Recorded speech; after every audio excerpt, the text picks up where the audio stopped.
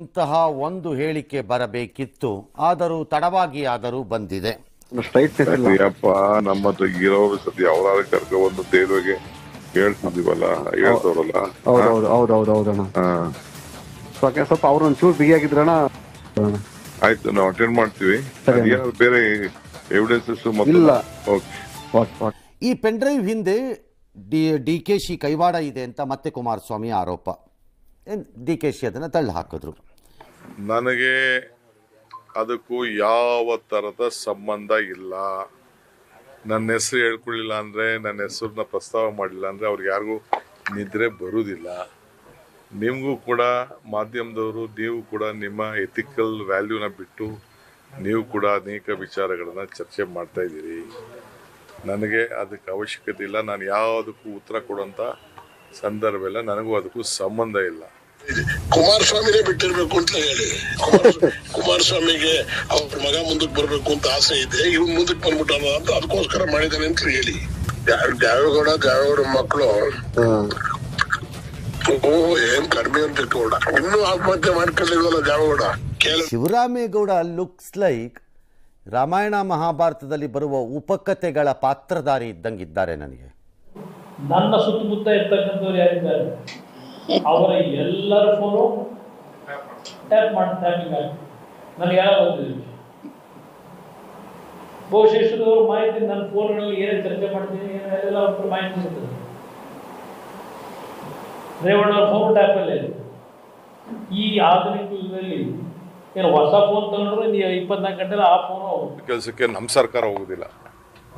ಅಂತ ಮುಟ್ಟಾಳ ಕೆಲಸಕ್ಕೆ ಕಾಂಗ್ರೆಸ್ ಸರ್ಕಾರ ಯಾವ ಟ್ಯಾಪು ಮಾಡೋಂಥ ಅವಶ್ಯಕತೆಯೂ ಇಲ್ಲ. ಏನು ಅವ್ರೇನು ಇದ್ದ ಟೆರರಿಸ್ಟ್ಗಳ ಟೆರರಿಸ್ಟ್ಗಳಿಗಾದ್ರೆ ಪರ್ಮಿಷನ್ ತೊಗೊಂಡು ಮಾಡ್ತಾರೆ. ಅವರು ನಮ್ಮ ರಾಜ್ಯದ ನಾಯಕರುಗಳು ಅವ್ರಿಗೆ ಯಾಕೆ ಟ್ಯಾಪ್ ಮಾಡಕ್ಕೆ ಹೋಗ್ತಾರೆ?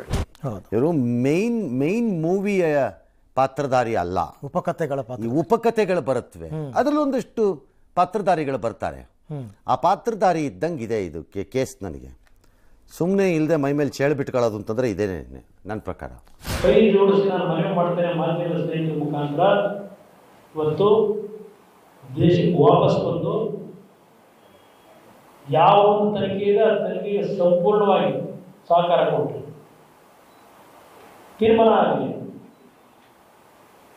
ಎಷ್ಟು ದಿವಸ ಈ ಕಳ್ಳ ಪೊಲೀಸ್ ಆಟ ಅವಶ್ಯಕತೆ ಇದೆ ದೇವೇಗೌಡರ ಬಗ್ಗೆ ಗೌರವ ಇದ್ದರೆ ಎರಡು ದಿನದಲ್ಲಿ ಬಂದು ತನಿಖೆ ಎದುರಿಸು ಎಂದು ಪ್ರಜ್ವಲ್ ರೇವಣ್ಣಗೆ ಮಾಜಿ ಮುಖ್ಯಮಂತ್ರಿ ಕುಮಾರಸ್ವಾಮಿ ಬಹಿರಂಗವಾಗಿ ಮನವಿ ಮಾಡಿದ್ದಾರೆ.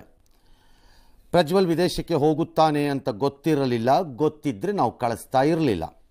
ವಿದೇಶದಿಂದ ವಾಪಸ್ ಬರಲು ಮನವಿ ಮಾಡಿಕೊಳ್ಳಲು ದೇವೇಗೌಡರು ಕೇಳಿದೆ. ಆದರೆ ಈಗ ಅವರ ಬದಲು ನಾನೇ ಮಾಡುತ್ತಿದ್ದೇನೆ. ನಲವತ್ತೆಂಟು ಗಂಟೆಯ ಒಳಗಡೆ ಬಂದು ಹಾಜರಾಗಬೇಕು, ತನಿಖೆಯ ಜೊತೆ ಸಹಕರಿಸಬೇಕು. ನಾನೇ ಕರಿತಾ ಇದ್ದೀನಿ, ಕೈ ಮುಗಿದು ಕೇಳ್ಕೋತೀನಿ ಅಂತ ಅಂದರು. ಕಾನೂನು ರೀತಿಯ ಇನ್ವೆಸ್ಟಿಗೇಷನ್ ಮಾಡಿಸ್ತದೆ ಕಾನೂನು ರೀತಿಯ ತಪ್ಪಿತಸ್ಥರಿಗೆ ಶಿಕ್ಷೆಯನ್ನು ಕೊಡಿಸ್ತಕ್ಕಂಥ ಕೆಲಸವನ್ನು ಮಾಡ್ತದೆ ಇದರಲ್ಲಿ ಯಾವುದೇ ರಾಜಕೀಯ ದುರುದ್ದೇಶ ಆಗಲಿ ಅಥವಾ ಯಾರಿಗೂ ಸಹಾಯ ಮಾಡೋದಾಗಲಿ ಯಾವುದು ಇರಲಿಕ್ಕೆ ಸಾಧ್ಯ ಇಲ್ಲ. ಇದು ಈ ನಿರ್ಧಾರ ಚೀಫ್ ಮಿನಿಸ್ಟ್ರು ಆಡಿಯೋ ಪ್ರೂಫನ್ನ ನಾಳೆ ಬೇರೆಯವ್ರದ್ದು ಬಂದಾಗಲೂ ಅದೇ ನಿಲುವಿಗೆ ಬರಬೇಕು. ಹಾ ಹೌದು. You you cannot make too loss ಯಾರದ್ದೋ audio proof ನಾಳೆ ಬಂದಾಗ ಯಾನಕ್ಕಾರುವೆ? ಆಗೇನು ಅದು ಆಡಿಯೋ ಅದು ಆವಾಗ ಆಡಿಯೋ ಪ್ರೂಫ್ ಆಗತ್ತೆ. ಆ ಮಾತಾಡಿಲ್ವಾ ಫೋನಲ್ಲಿ ಅಂತ ನಂಗೆ ಅನ್ನಕ್ಕೆ ಬರಲ್ಲ ಇವಾಗ ಒಬ್ರಿಗೊಂದು ಒಬ್ರಿಗೊಂದು ಆಗಲ್ಲ. ಒಬ್ರಿಗೊಂದು ಒಬ್ರು ಆಗಲ್ಲ. ಆಗಲ್ಲ. ನನಗಿದ್ರ ಒಂಥರ